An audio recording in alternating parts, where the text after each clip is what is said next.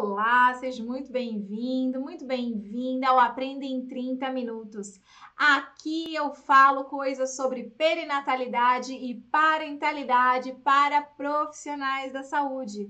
O meu nome é Rafael Esquiavo e no episódio de hoje nós vamos falar sobre psicologia perinatal. Então vamos lá, vamos aprender um pouquinho sobre psicologia perinatal, o que é isso, afinal de contas. Então vamos entender primeiro o que significa a palavra perinatal, tá? Perinatal, gente, é um termo da medicina para falar de um período que antecede o momento do parto, né? Aproximadamente 24 semanas de gestação, então um período que antecede o parto, o parto e o pós-parto, né? Até cerca de 45 dias mais ou menos aí após o parto, tá? Então isso é chamado de perinatal para a medicina. É o que está em torno do nascimento, perinatal. A psicologia perinatal, portanto, ela estuda exatamente isso, sobre gestação, parto e pós-parto, ok? Então é a área da psicologia, psicologia que a gente vai estudar isso.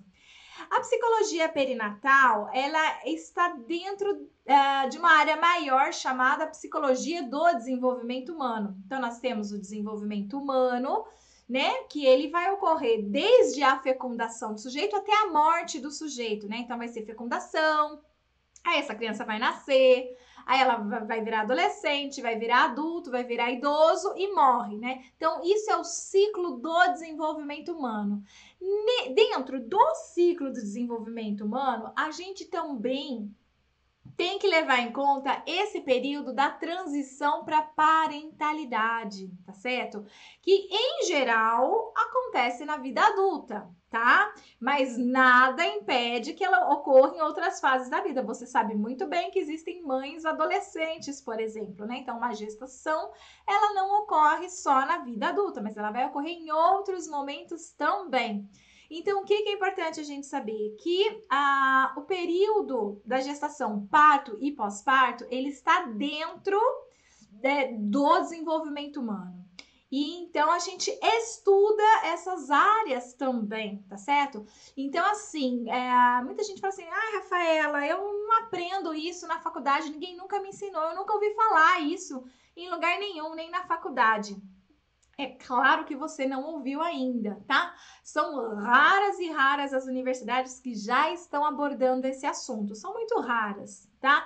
Por que isso? Porque o assunto é muito raro. Quando a gente aprende em psicologia do desenvolvimento, essa área ela não vem com esse nome, psicologia perinatal, não vem com esse nome, né?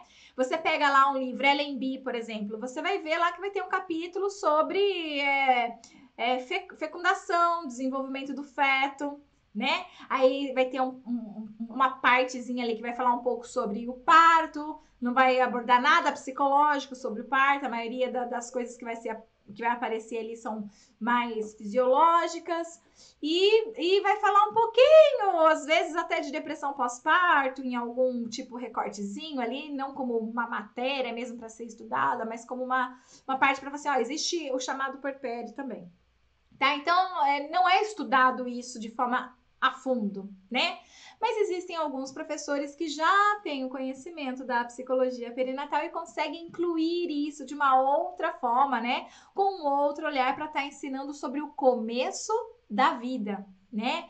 E que é muito importante. Eu sou professora de psicologia do desenvolvimento e eu, eu, eu, eu separo né, o ciclo do desenvolvimento, então eu falo sim sobre pré-natal, desenvolvimento psiquismo né, do feto, então eu explico como é que funciona ali, falo muito sobre parto, aí vou falar sobre parto humanizado, violência obstétrica, é, tudo isso, né? Falo um pouquinho do pós-parto também, mas eu deixo para falar dos aspectos da maternidade mesmo, quando eu vou ensinar sobre a vida adulta, que é realmente o momento em que a maioria dos adultos uma da, das atividades é a transição para parentalidade, deixo para falar sobre isso lá, né? Aí eu olho para falar sobre como é o estado psicológico da mulher nesse momento, lá nesse, nesse período, tá? Mas é, é isso, gente. Você realmente vai ser muito difícil você ouvir falar. Por quê? Agora vamos lá para a história da psicologia prenatal. Então, agora você já sabe que psicologia prenatal significa o estudo, né, uh, do psiquismo que vai acontecer ao entorno do nascimento, gestação, parto e pós-parto, né? Que ficava só no âmbito da medicina, da enfermagem, né?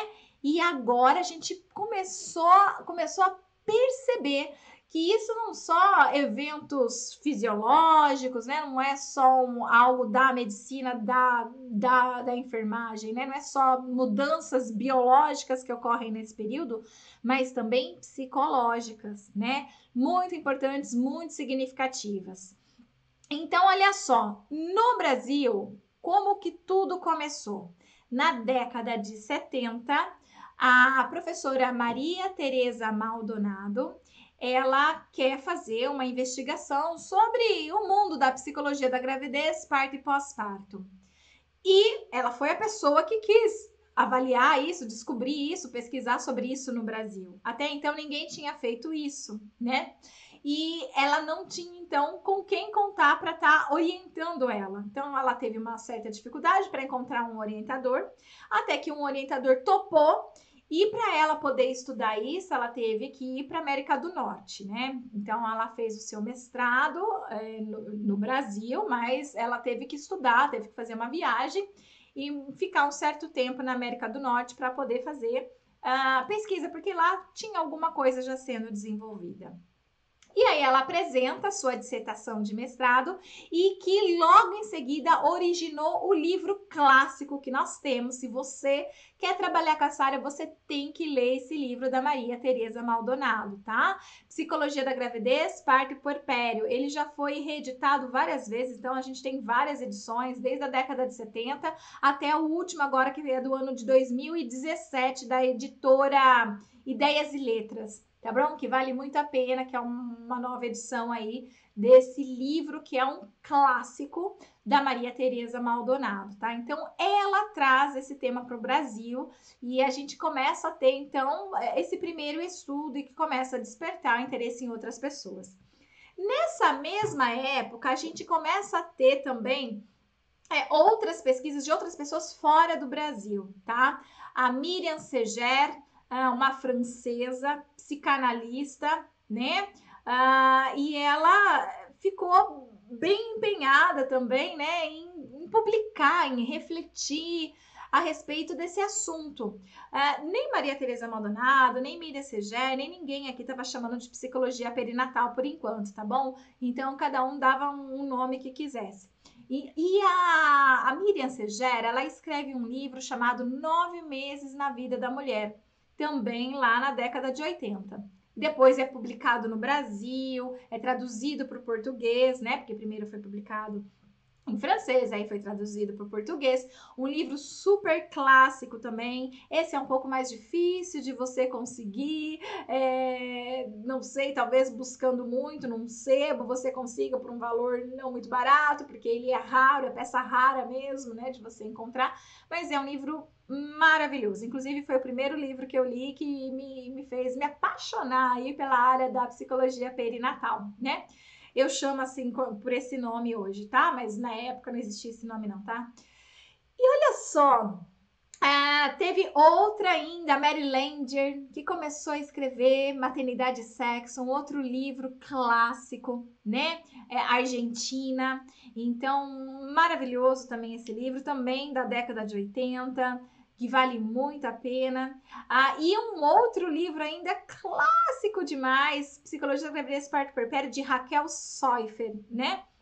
Então, também não era brasileira, também publicando aí sobre o assunto, tá? Então, esses foram os primeiros livros. Então, assim, a gente começa realmente a dar um olhar psicológico para a coisa após a década de 70, tá bom? Só depois, antes disso a gente não tinha. Claro, a gente tinha o Winnicott, a gente tinha Melanie Klein, né? Que também estavam falando sobre a relação mãe-bebê, né? Da importância de investir no bebê, dessa relação, da vinculação. Claro que eles já estavam falando sobre isso também, né?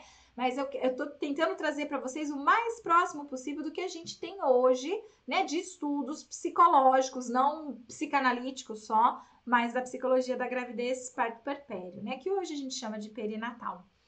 Interessante a gente saber também, gente, né, que é, ela começa com psicanalistas, tá? Então, Maria Teresa Maldonado escreve numa linguagem mais psicanalista, Raquel Sorfer inteiramente, Miriam Segera inteiramente, é, Mary Langer também, então, é, Rafael Leff. Então, eram pessoas que estavam escreve escrevendo sobre o assunto, todos eles psicanalistas. Por quê, gente? Porque a gente tem aí o Winnicott, François Douto, né? Pessoas que estavam falando sobre relação mãe-bebê, né? E vinculação, eram psicanalistas. Então, eles começaram a fazer todas essas investigações, Alessandra Piontelli, que depois foi estudar psiquismo fetal, né? Então, nasce da psicanálise esse tipo de conhecimento. Mas hoje a gente já avançou muito, tá? Então hoje a gente já tem é, profissionais de todas as abordagens atuando nessa área. Então a gente tem comportamental, a gente tem cognitivo comportamental, gestalt, logoterapia, sistêmica e assim vai, né? Todo tipo de abordagem a gente tem hoje. É, de profissionais psicólogos atuando na psicologia perinatal, tá? Então ela não é mais uma coisa de psicanalista, até era no início, por quê? Para você ter contato com essas informações, você tinha que ser psicanalista para conseguir entender a leitura dos livros. Então, você lia os livros e você percebia, né, que é, a escrita era psicodinâmica, né, baseada, né, toda a metodologia pautada aí na, na psicanálise. Então, realmente, é, esse assunto primeiro foi difundido entre os psicanalistas. Eles já estavam trabalhando com isso na clínica há muito tempo, né? E só agora, muito, muito, muito recentemente, há menos de 10 anos, outros psicólogos começaram também a interpretar, né, é, de acordo com a sua própria abordagem, esses fenômenos, né? Não dava para ficar mais só na mão de, de alguns profissionais, a gente precisava chegar na mão de vários profissionais, ok? Então, a gente passou pela Maria Tereza Maldonado e agora a gente vai entrar na professora Fátima Bortoletti, tá? A professora Fátima Bortoletti da Unifesp, na década de 80, ela começa também a trabalhar com essas questões, né? É, existia um método behaviorista, inclusive, né, comportamental, para alívio da dor na hora do parto, que era a dessensibilização sistemática mesmo, que usava respiração, imaginação, né, para ajudar as mulheres terem menos dor na hora do parto. E se fazia como se fossem grupos, né, grupos de, de gestantes. E era dado um nome muito muito assustador, digamos assim, né? Psicoprofilaxia do ciclo gravídico puerperal, nome gigante, né?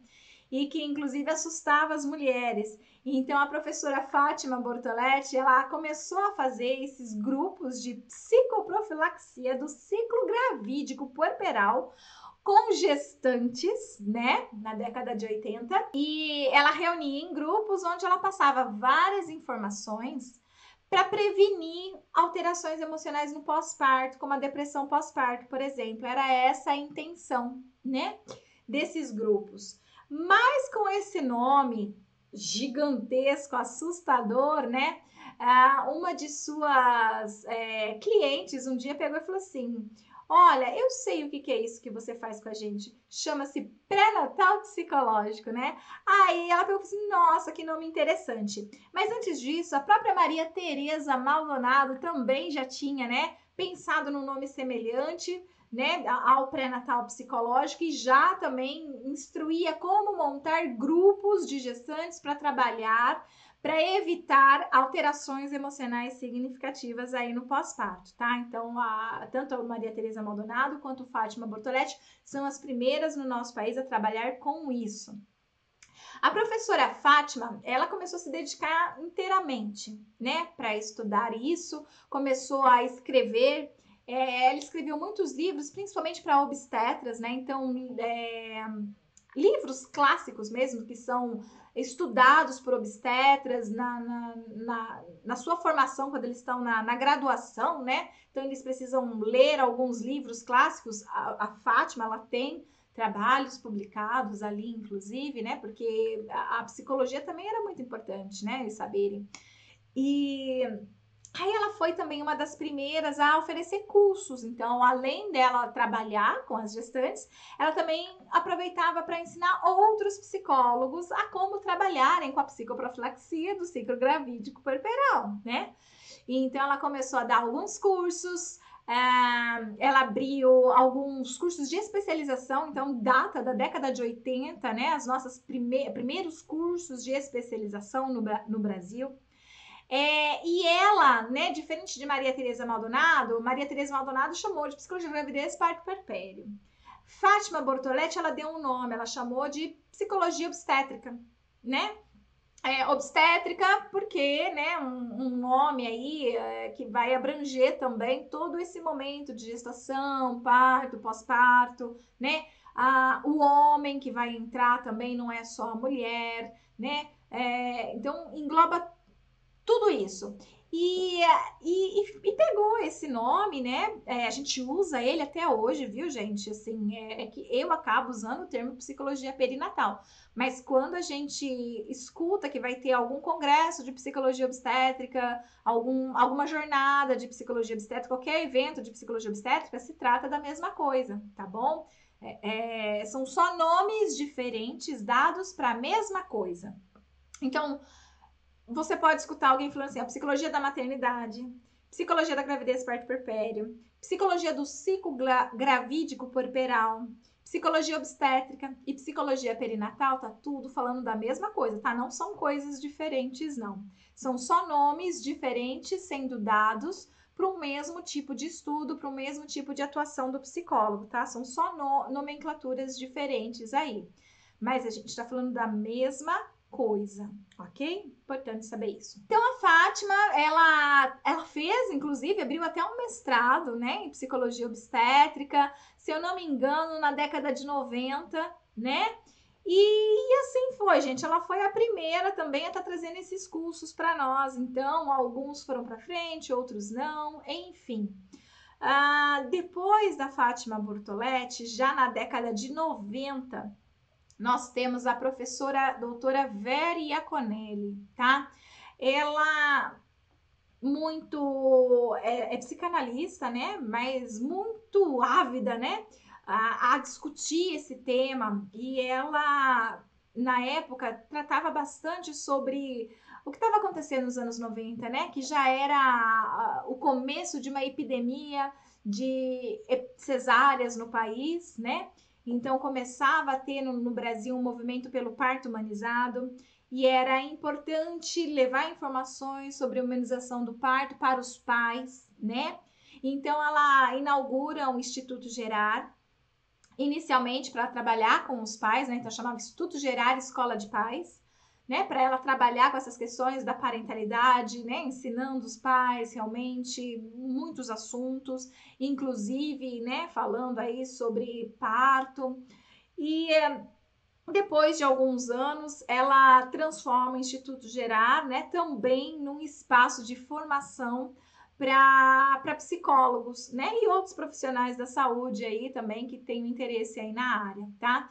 Mas é com Vera Conelli que no ano 2000 já, assim, não no ano 2000, mas né, já estando, né, no, no século 21, né, aí ela, ela também trabalhando com esses nomes, é, ciclo gravídico puerperal, dando palestras e tal, é, ela por volta de 2005, mais ou menos, né, começa a estudar aí uma nomenclatura e, e e, e passa né, de psicologia obstétrica para psicologia perinatal, no sentido de que a psicologia obstétrica ela é muito relacionada à, à clínica médica, né, algo muito médico, como se a gente tivesse que realmente ficar hum, a, a, psicologia ela já nasce, né, de, do, do, médico, né, de um modelo clínico médico com, com é, Freud. Freud era médico, né? Então a gente já tem esse modelo clínico né? E, e algumas questões aí que a gente precisava meio que ser independentes da medicina e mais enquanto profissionais da, da psicologia. E aí o termo perinatal, que significa o entorno do nascimento, é uma nova proposta, tá? E, E como ela acabou é, formando vários psicólogos no Brasil inteiro e até de fora do Brasil vinha gente aqui, né, para fazer os cursos com ela. Então, como ela foi a pessoa assim que mais se destacou, né, aí nos anos 2010, 2007, 2005, nesse sentido da psicologia perinatal, ela foi a que formou, inclusive, os primeiros psicólogos perinatais do Brasil tá? E quiçá alguns do mundo, inclusive, né? Então, ela fez isso né, nessa época. Eu fui uma das alunas da professora Vera no ano de 2007, se eu não me engano, eu sou da primeira turma de formação em psicologia perinatal dela, tá? E, e o que, que aconteceu? Ela deu esse nome e as pessoas começaram a utilizar, e ele se alastrou, ele pegou mesmo, né? E até hoje a gente está utilizando esse termo. Algumas pessoas continuam utilizando psicologia da gravidez parto perpério, outras continuam usando psicologia da maternidade, outras continuam usando psicologia obstétrica. Eu mesma uso psicologia obstétrica em alguns momentos. E, mas eu acabei ficando mais familiarizada com o perinatal. É só isso, tá, gente? A questão é só essa. Não é que esse é o nome da coisa, não. Pode ser qualquer um, que, como eu já disse para vocês, tudo tá falando da mesma coisa, tá? Tudo está falando da mesma coisa. E então a gente teve, né, todo esse avanço na história da, da psicologia perinatal. E claro, algumas pessoas ficam assim perguntando para mim, mas eu não encontro nenhum material sobre psicologia perinatal na internet quando eu, quando eu procuro. E o que, que as pessoas não entendem é o seguinte: ah, os pesquisadores, eles pesquisam sobre gestação, né? Psicólogos pesquisadores, psicólogos, né?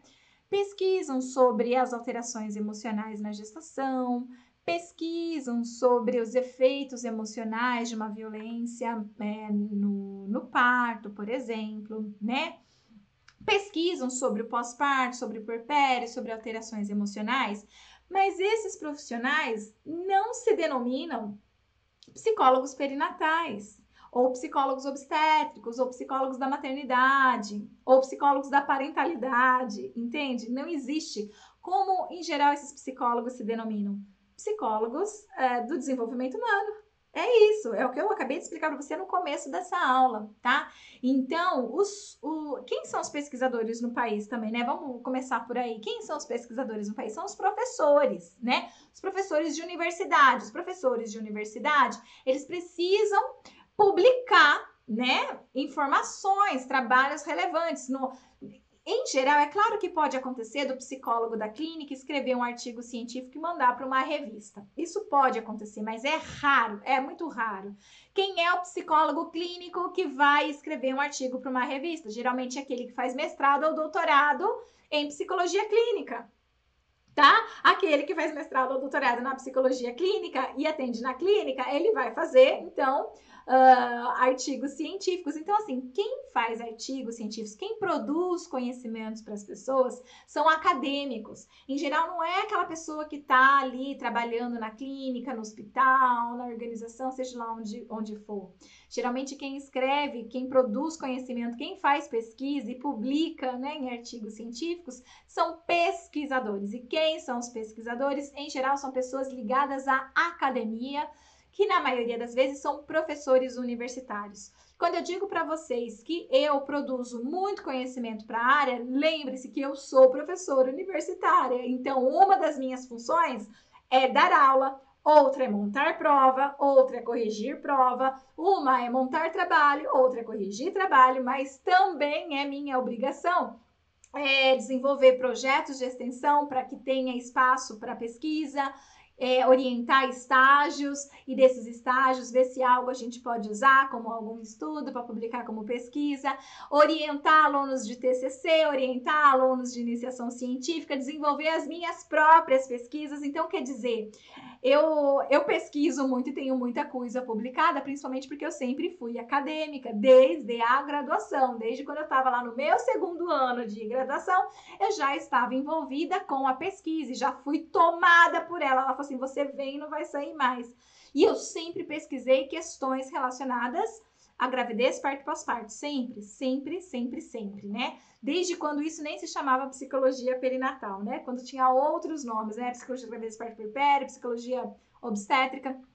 Eu sempre pesquisei sobre isso e sempre publiquei sobre isso, né? Então, quem faz isso são os professores universitários, na grande maioria das vezes, tá? Então, é importante a gente saber isso também. Ah, e aí, quem tá trabalhando com essas gestantes, muitas vezes tem que entrar em contato com esses materiais que são publicados para poder começar a saber, olha, o que, que a ciência está produzindo de novidade para a gente poder atuar da forma correta e não de uma forma baseada na minha experiência com a maternidade ou qualquer uma do senso comum aí, né? Mas eu tenho que pautar as minhas atividades baseadas, né, na, nas pesquisas que estão sendo publicadas, tá certo? Então é importante a gente saber isso, e isso começou a acontecer muito dentro e fora do Brasil por pesquisadores, professores que não eram psicólogos perinatais, mas eles eram professores, né? Eles não tinham clínica para atender em psicologia perinatal e muito menos sabiam que essa área chamava psicologia perinatal obstétrica.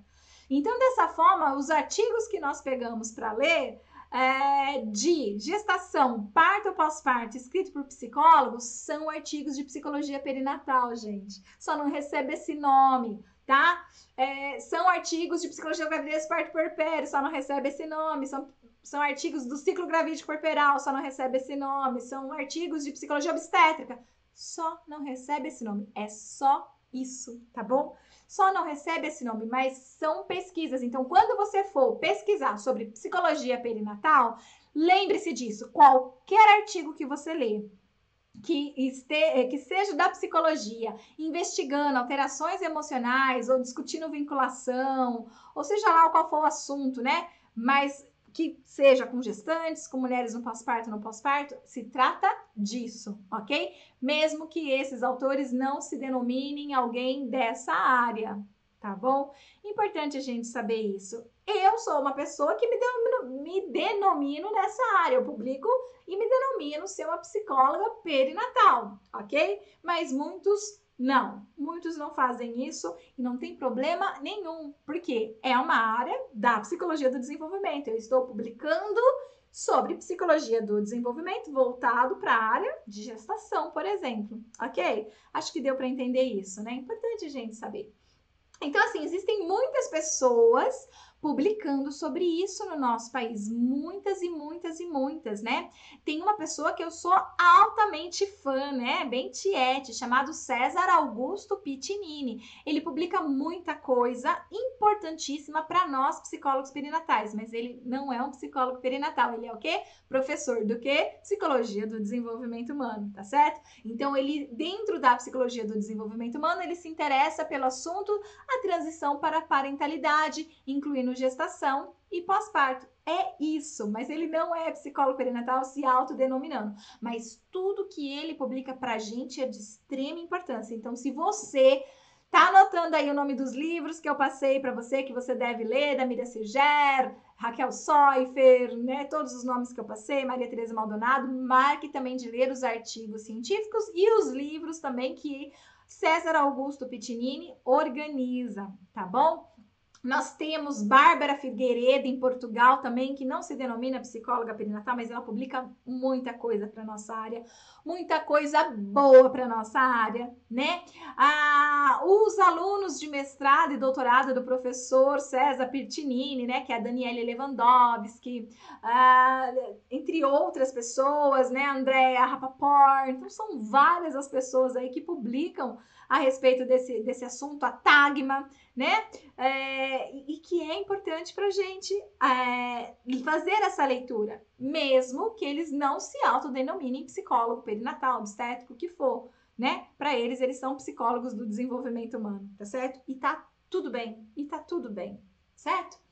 É, então a gente tem muita coisa publicada assim, tá? O que a gente não tem publicado é com o termo psicologia perinatal. Isso a gente não vai ter publicado é, se você entrar para pesquisar alguma coisa, o que você vai encontrar é um artigo meu, que inclusive eu vou estar tá deixando para você aqui na descrição desse vídeo, esse artigo que eu publiquei na Sociedade Brasileira de Psicologia, tá? O título desse texto é A Expansão da Psicologia Perinatal no Brasil. Então é um texto muito bom, recomendo muito que você leia, então que você assista essa aula e aproveite e leia esse texto também, tá certo? Então, assim, é, é, a, a psicologia perinatal, ela está em expansão, como você pode ver, né? Então, qual que é o estado da arte dela nesse momento? Como ela está nesse momento? No ano de 2018, eu criei o Mater Online e comecei a divulgar nas redes sociais essa área, porque até então essa área não era divulgada nas redes sociais, né? Era uma outra pessoa que sabia, de repente descobria que existia, ficava frustrada porque não tem psicólogo perinatal para é, cursos de psicologia perinatal para ela fazer, para ela estudar, para ela poder se tornar uma psicóloga perinatal. Os poucos raríssimos cursos que existiam no Brasil eram longes, então a pessoa tem que viajar, então você tem que pagar o curso, pagar o avião, pagar o hotel. E é uma vez por mês, né? Então essas coisas todas acabavam dificultando muito. E até por isso que até hoje muitas pessoas nunca ouviram falar de psicologia perinatal, né? Porque ela realmente é nova, realmente é muito nova, né? E não tem nem 20 anos ainda que a gente usa esse termo, né? Tem é, uns 12 anos mais ou menos que a gente usa esse termo, né? Começou em 2007, mais ou menos. Então é isso, uns 12 anos, aproximadamente 12, 13 anos. Então, assim, é muito novo, as pessoas não conhecem, não é ensinado na faculdade. E aí, com isso, existe essa dificuldade das pessoas também encontrarem cursos, né? Para se formarem, poderem atender nessa área e descobrir exatamente o que, que é. Então, em 2018 eu percebi isso e comecei então a produzir com, com conteúdos e muitos conteúdos gratuitos para vocês, para vocês poderem saber mais sobre o que, que é psicologia perinatal, para que isso não fique só eletizado, só uma parte pequena da população de psicólogos que tem condições financeiras para fazer viagem, para pagar o curso, para pagar o hotel, para, né? E só essas pessoas saberem o que, que é e o resto do Brasil ficar sem. Por quê? eu descobri que as taxas, né, o número de mulheres com adoecimento mental no período perinatal é elevadíssimo, é muito alto e ele começa na gestação. Na hora que eu descobri que na gestação a gente tem muito mais mulheres com alterações emocionais significativas do que no pós-parto, isso me assustou. Quando eu descobri que a cada quatro mulheres uma apresentava sintomas de depressão na gestação, fiquei mais assustada ainda e falei assim, gente, não dá pra gente continuar tendo gatos pingados de psicólogos no nosso país, né? que não vão conseguir atender toda essa demanda que a gente precisa, a gente não pode. Porque quem tem dinheiro para fazer tudo isso concorda que essa pessoa não está trabalhando no serviço público de saúde, ela tem uma clínica que está indo muito bem, que está sendo bem rentável, então ela consegue ter dinheiro para fazer as viagens e tudo mais. E aí eu fiquei pensando, e aquele profissional que está lá na unidade básica de saúde? E aquele profissional que está lá no hospital, que não tem tempo nem condição é, financeira e mesmo que tenha condição financeira, às vezes não tem condição de sair de casa porque tem filho pequeno, não dá para deixar o filho com ninguém, então não tem como levar o filho também para o curso, fazer uma viagem com o filho sairia mais caro ainda, né? Então, aí, pensando em tudo isso, eu resolvi então criar uma matéria online e levar essas informações para vocês. E eu levo essas informações de todas as formas. Vocês têm e-books gratuitos, vocês têm textos e textos gratuitos sobre os mais variados temas. Vocês têm essas videoaulas como essa que você está assistindo aqui. Você tem é, uma comunidade chamada Profissionais em Ação, onde todos os dias eu posto conteúdos ali e tudo isso de forma gratuita para que isso possa chegar a cada vez mais pessoas. E graças a Deus é o que tem acontecido. Então, o estado da arte, né, o que está acontecendo agora com a psicologia perinatal, é isso é, muito mais pessoas, muito mais psicólogos estão sabendo que existe essa área, muito mais psicólogos estão com interesse em estudar essa área. Eu tenho meus cursos pagos também, então eu tenho toda essa distribuição de conteúdos gratuitos aqui, mas eu também ofereço vários cursos pagos, né, para as pessoas que querem se aprofundar ainda mais, que querem ter certificado, que querem ter um contato mais próximo comigo, com supervisão e tudo. Então, assim, aí eu tenho os meus cursos também para poder ajudar essas pessoas, né? Então, assim, hoje a, a, população já começou a saber que existe psicólogo perinatal, a população começou a procurar pelo serviço do psicólogo perinatal, os psicólogos começaram a ouvir, estão despertando para isso, e muitos deles com mestrado e doutorado, ou seja, logo, logo nós teremos professores aí, né, que vão estar tá dando aula de psicologia perinatal nas universidades. Eu mesma tenho, nossa, dezenas de alunos que têm mestrado e doutorado e até pós-doutorado. Então, com certeza, eles são pessoas que vão levar esse tipo de conhecimento para as universidades, né? E o melhor de tudo, eles são de todo o Brasil. Né? Então, todo o Brasil tem, tá, tá vindo fazer. De fora também tem vários alunos de fora do país, né? Por ser online os cursos, isso facilita bem. Ninguém precisa gastar com avião, com estadia, ter que arrumar alguém para ficar com os filhos. Então, facilita muito, né? E, então é isso, pessoal. É essa a história da psicologia perinatal, tá? Que a gente está construindo, eu e você construindo juntos. Então ela não não tem uma história antiga assim, né? Ela é bem nova, ela é bem recente, tem é da década de 70 que começou, né? E, e a gente está construindo ela, ok? Então espero que vocês tenham gostado dessa videoaula que eu preparei com muito carinho para vocês. Um abraço, tchau, tchau!